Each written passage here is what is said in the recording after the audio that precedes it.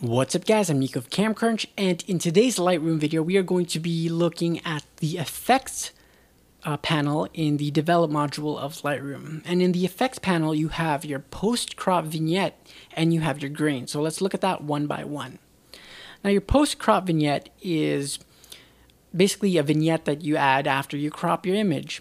Uh, this is to ensure that the vignette affects all of the corners of the image, all of the sides of the image, because when you crop an image and you don't do a post-crop vignette image, uh, a post-crop vignette, then it will add the vignette to the the whole image as it was before you cropped. Therefore, some sides might not have a, a vignette on it. And in fact, if you crop in to the image, cutting out all the sides, then you might not even have a vignette because the vignette would have been in the cropped area. So you want to do the post-crop vignette if you want them on all the sides.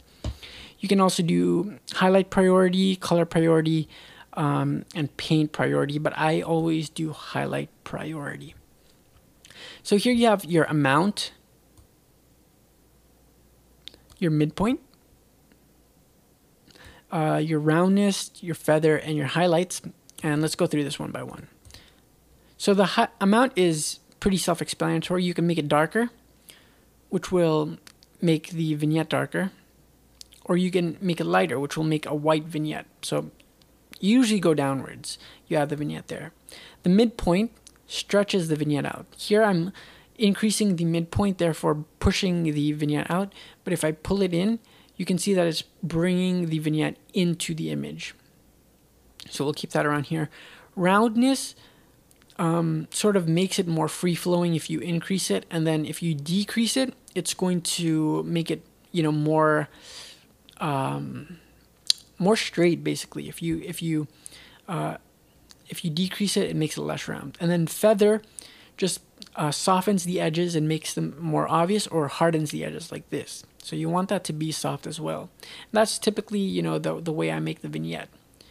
Uh, I either stretch the midpoint out or bring it to the center depending on the image, but the amount always goes lower. The roundness I always increase, and then the feather I always increase.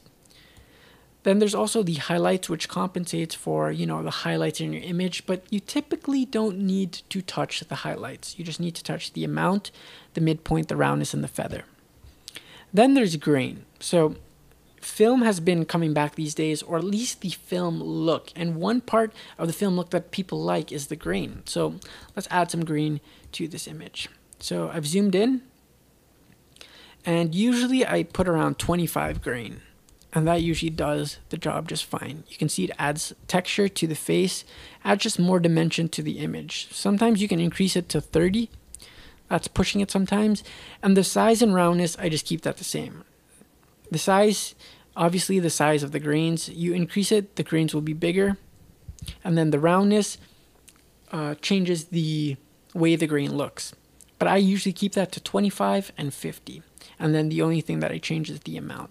And that can these two things can really dramatically change the uh, the way your image looks. For example, if I remove the vignette and I remove the grain, looks a lot different. I add the vignette, gets darker around the images, more focus, add the grain, it adds more grit, more texture, and makes the image feel more alive. So you can really use these to your advantage uh, to create a nice looking image. You can do that in black and white or on color.